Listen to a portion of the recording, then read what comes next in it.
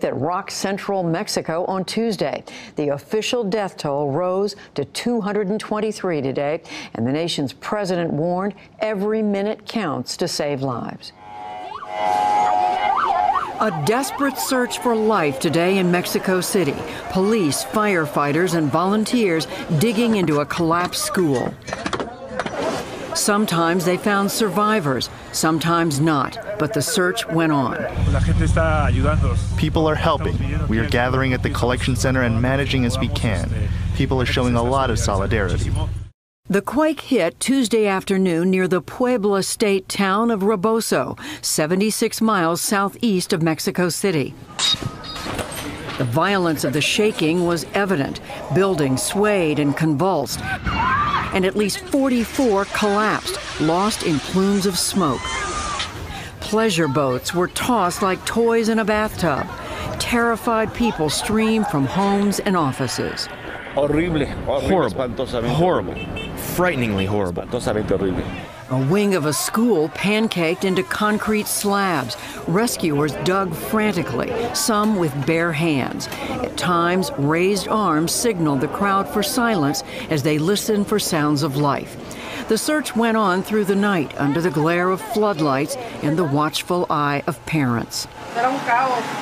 My kids go to school on the next street, and when I saw the school, I panicked and I ran and I ran for my children. I spent all afternoon here watching them rescue people. Crews brought in wooden beams to shore up the school building, and ultimately they spotted one survivor, but pulled 25 bodies from the rubble, all but four of them children. The same scenes were repeated over and over across the region. Hundreds of people hunting for the living and dead, and survivors telling of narrow escapes. It was a very hard hit that went down. I went to find my child and I couldn't. I was trapped on the third floor, and the people in the house next door helped me get out with a ladder. I am just grateful to God that we are here for something. In Morelos State, where 60% of the residents lost power, they began burying their dead and surveying the damage today. The good thing is that my wife and my grandson were the only ones there. She's injured a little, but she's there alive. The quake hit less than two weeks after an even stronger tremor struck southern Mexico and killed nearly 100 people. It also came on the 32nd anniversary of the 1985 earthquake in Mexico City that killed thousands. There had even been earthquake drills yesterday morning. In a national address last night, Mexico's President Peña Nieto spoke of his country's resilience in the face of repeated disasters. This earthquake is a hard test and a painful one for our country. Mexicans have had very difficult experiences with earthquakes in the past, and we have learned how to respond to these incidents with a spirit of solidarity. From New York today, President Trump spoke to Peña Nieto at length. And at the Vatican, Pope Francis led thousands of people in prayer for the earthquake victims. For more, joining us from Mexico City is Gus Valcarcel with the Associated Press. Gus, tell us where you are and what you've been seeing today.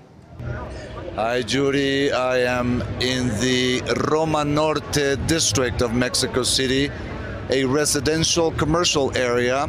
And right behind me, as you can probably see, is an apartment building that came crumbling down. This obviously happened yesterday in the afternoon and at least 20 bodies have been pulled out of the rubble, Judy. A very sad moment for Mexico and for this community. The good news is they uh, they are apparently uh, hearing some uh, noises that the experts believe are people who may still be alive inside those rubbles. So the they are not losing hope that they will find more survivors. Gus Valcarcel reporting for us from Mexico City. Thank you. Mexico is not the only country to have been hit by a powerful earthquake in recent days. Places dotted around the so-called Pacific Ring of Fire have been rocked by a series of strong quakes in recent days. Fortunately, none as deadly as the one in Mexico. For more about the sharp uptick in seismic activity around the ring, here's our Pak. In recent days, a series of powerful earthquakes have hit countries situated along the so-called Ring of Fire regions surrounding the Pacific Ocean that are prone to quakes and volcanic eruptions.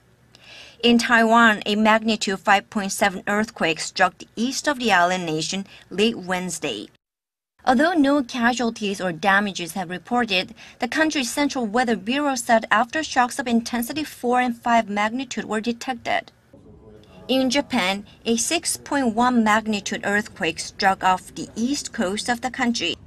According to the U.S. Geological Survey's website, the quake hit before the crack of dawn on Thursday, some 320 kilometers east of Fukushima, where a massive earthquake and tsunami led to the Fukushima nuclear disaster in 2011. New Zealand, another country in the Ring of Fire, was hit by a 6.1 magnitude undersea quake on Wednesday afternoon, rattling the southwest of the country. A magnitude 6.4 quake struck Vanuatu's fourth largest island, Erromango, in the Pacific Ocean on Thursday. It struck the center of the island at around 7 in the morning. The so-called Ring of Fire stretches over some 40,000 kilometers along the boundary of the Pacific Plate and the smaller plates that line the edge of the Pacific Ocean. Earthquakes happen as the plates grind up against each other and produce friction. It's not a matter of if, but when. As Mexico reels from its 7.1 magnitude earthquake, California, from Los Angeles to San Francisco, is anxious and on edge about what so many fear will be the big one. Did you feel that? A small earthquake shook LA earlier this week, but a study from the U.S. Geological Survey says the chance of a quake magnitude 8 or larger in the next 30 years has doubled since 2008. Experts say a major quake along the San Andreas Fault in Southern California could kill 1,800 people, injure 53,000, destroy 1,500 buildings, and damage 300,000 more. A serious quake could also cripple the city's water supply and take as long as six months to repair. Who thinks about the pipes in the ground? We don't want to spend money on that. It's, it's out of sight, out of mind. While nearly $14 billion has been spent on seismic upgrades to transportation infrastructure, including bridges, the city of Los Angeles now requires property owners to retrofit buildings that cannot withstand a strong earthquake. Do you feel like LA is ready? LA is getting ready and is probably far more ready than a lot of other cities.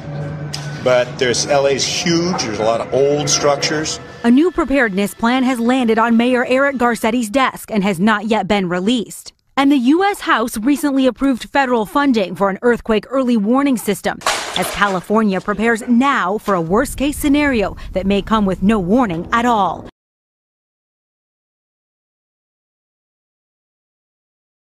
A massive fault line in California has scientists sounding the horn over an expected major earthquake.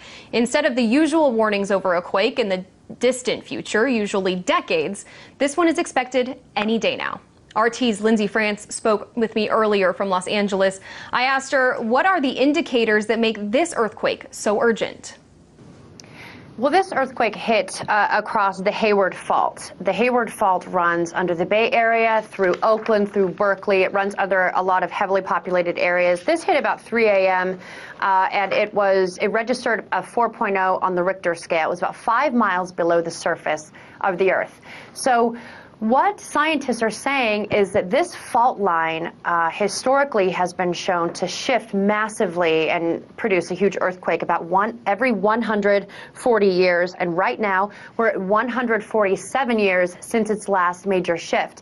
Now, during after this uh, 4.0 earthquake, uh, it was reported that uh, magnitude 1.0 to 2.7 earthquakes, at least a dozen, were reported in that area. So those were aftershocks, and there's a worry that uh, the initial earthquake and along with the aftershocks could put us on the brink of uh, a big one along that fault line. Of course, everyone here is scared of it. I'm scared of it right now, sitting 12 floors above Los Angeles.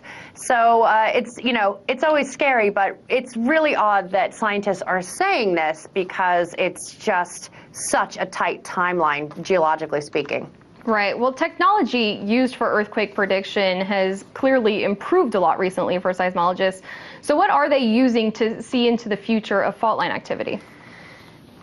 You're right, it's really progressed quite a bit. What they can do now is they can create these complex models of what these fault lines look like. They use geospatial mapping, uh, satellites, and even aerial, uh, aerial photographs to take a look at the shifts. And what they found, alarmingly, is that you can take an earthquake in one area and draw a line to another area and say it's very likely that something here will happen over there because they're showing that the fault lines are in fact interconnected, and we've got some big ones out here that are connected through little ones. And that is something that scientists have had to accept, and it opens up an entirely new can of worms on predicting what the damage could be. If you take a look at the 1906 San Francisco earthquake that ravaged the city, mm -hmm. that city has 100 times the population that it used to scary. And we were watching some of that video as you were talking of, you know, just scary images of these earthquakes. But let's not forget about the business of fear mongering. It can generate quite a lot of sales for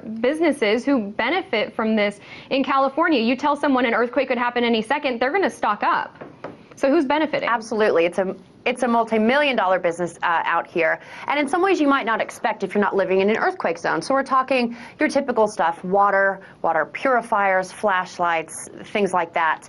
But also what we're talking about is earthquake insurance. If you look up in the Hollywood Hills, in fact, just behind me, if you ever have a chance to drive through there, you will see mansions literally built on stilts that are driven into the ground seemingly through dirt.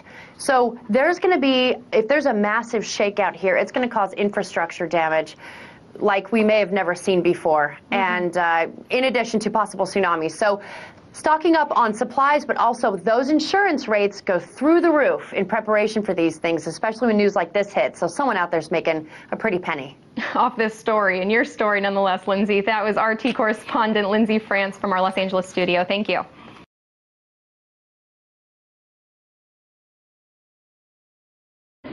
Well, right now, a warning for Southern California about the increased risk of a major earthquake. Experts say a series of small quakes along the San Andreas Fault could lead to a bigger one, and people in the area should revisit their emergency plans. This, of course, is the area of concern, as you're seeing on your screen, and it's no stranger to disaster. In 1994, the Northridge Ridge earthquake killed 57 people, injured thousands more, causing billions of dollars in property damage.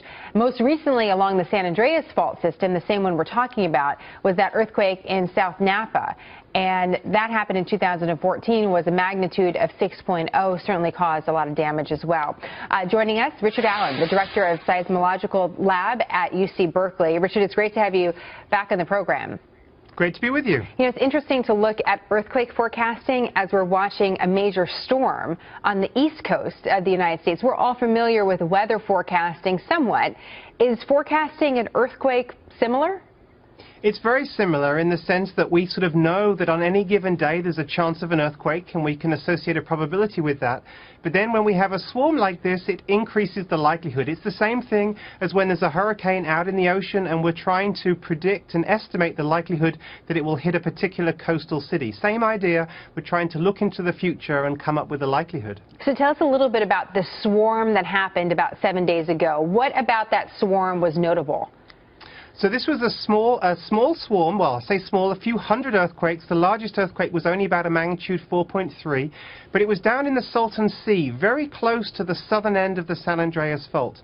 And when we see events like this, it makes seismologists get a little concerned because it's a lot of activity close to a big fault, and we know that that increases the likelihood of a bigger earthquake on the big fault. And so that that's what gets us all a little alarmed. So walk us through these numbers. The likelihood of an earthquake on any given day is what?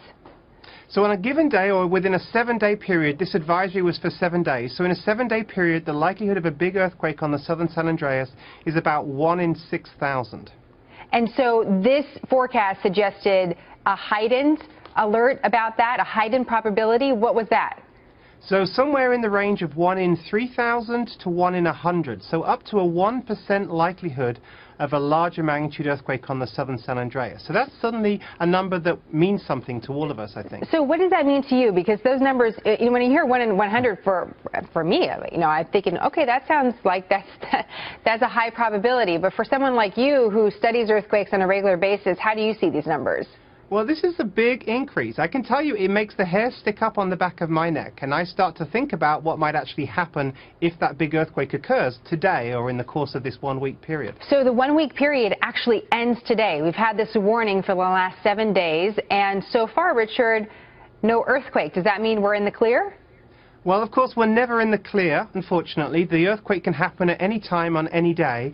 But it does mean that we're sort of in the end of this sort of heightened um, period of concern. The likelihood of that big event happening actually decays over a period of days, and so the advisory for, for a seven-day window, which is now over, but so that means we're past this little hump.